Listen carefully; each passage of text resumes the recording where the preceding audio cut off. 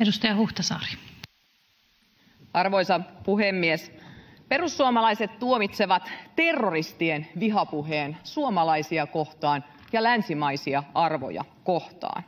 Radikaali islamistisen terrorismin uhka Suomessa on kohonnut ja samalla sisäinen turvallisuus on heikentynyt. Käynnissä oleva islamisaatioilmiö etenee koko ajan.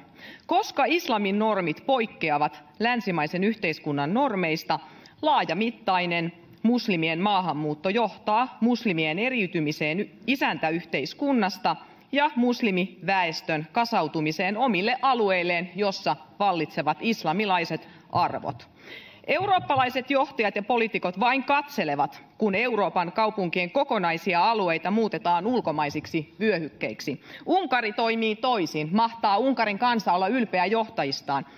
Mitä hallitus aikoo tehdä, että emme seuraa tätä epäonnistunutta kehitystä, mikä Euroopassa on meneillään? Onko Suomen hallituksella kanttia puolustaa Suomea, suomalaisia ja suomalaista identiteettiä?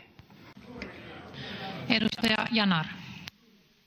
Arvoisa rouva puhemies! Minusta on käsittämätöntä, että terrorismia ja, ja turvapaikanhakijoita voidaan jollain tavalla laittaa edes, ö, ö, mi, miten sen nyt sanoisi, jotenkin rinnakkain ja, ja ehkä jopa tuoda esille rivien välistä, että tässä olisi ilmiö, jossa islam ja, ja, ja länsimäinen yhteiskunta olisi tässä sodassa.